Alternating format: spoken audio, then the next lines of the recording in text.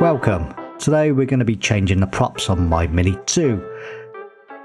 Now these props don't really need changing, uh, the drone has been performing fine. If you actually look at the bottom right prop you can see a little bit of damage.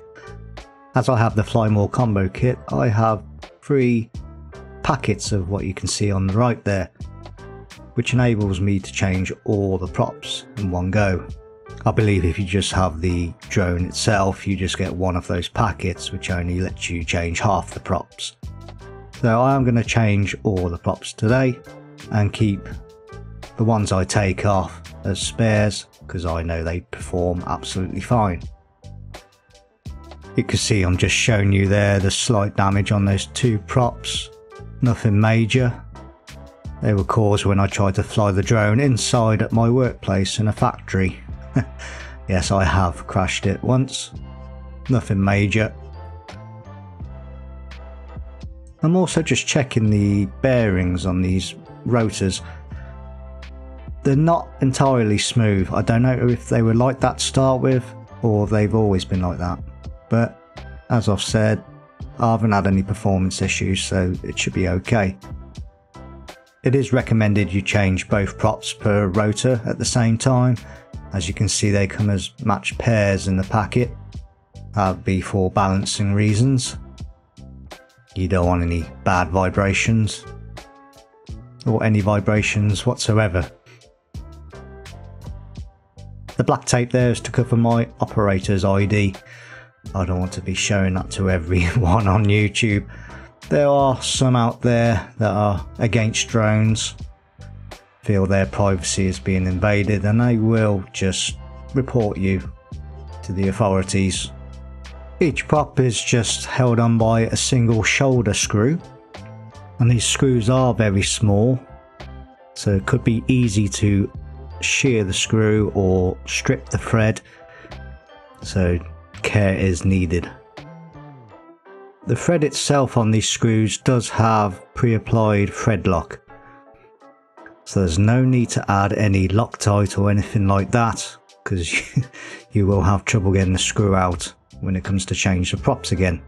And because the screws do have pre-applied thread lock, you will have some resistance when undoing these screws and putting them back in. So that is normal. Please do not cross the threads. you will mess up your drone. and I'm just showing you the very small part of the screw that is threaded, which has the pre-applied thread lock. And I'm putting the props back in, the used props back into the packet, and I will keep those if I need to put them back on, as I know they do work fine. The packets the props come in do show you where they go on the drone, so make sure you get that correct.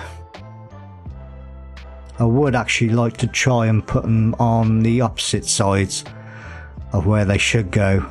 Not sure what would happen. Would it go up instead of down or down instead of up?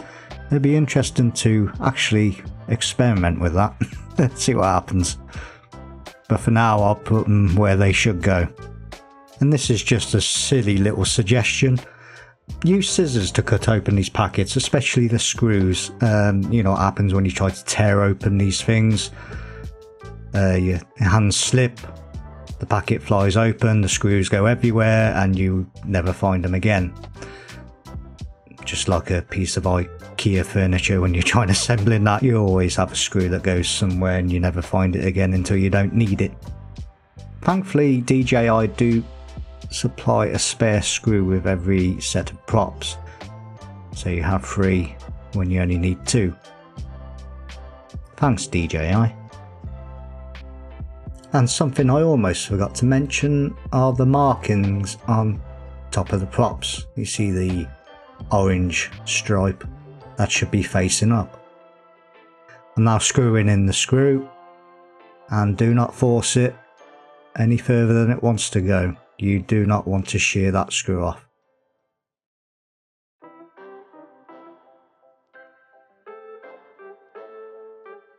That should be good. Well done, me. So while I'm doing the rest of these props, anything else that can be mentioned? Well, I wouldn't recommend using the old screw uh, as the thread lock is only designed to be used once unless you want to start checking these screws every time you use the drone in case they come loose. And I would definitely use the screwdriver that comes with your drone as that should match the cross-headed screws perfectly. You don't want to be rounding off these heads as that's another way to really mess up your drone. I can't imagine drilling these things out, It'd be very difficult. It is something I have experience with at my job. From time to time, screws do shear, especially these smaller ones, they are a pain to drill out. So take your time, and all should go as planned.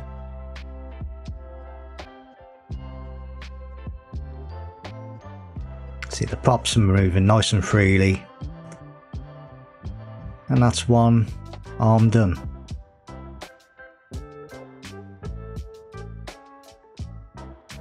So over to the bottom left. Obviously check the packet for the right location. And if you look carefully on these props, near the screw, you can see there's a marking to help you identify where these props go, which is very useful if you do keep these old props and you don't keep them in the original packet that tells you where they go, then you can tell which ones they are by that marking. And with that, I think that's all I need to explain. I'll keep the video running if you want to keep watching and I'll play some lovely little background music. So thanks for watching. Hopefully next time I'll have an adventure for you.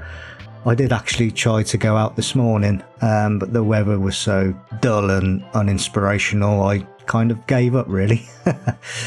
yeah, it kind of reminded me of the, um, what's that, the new Disney Marvel's Eternals trailer. It was just so dull and a typical UK overcast day really. Yeah, that movie's not looking good. right, thanks guys. See you next time.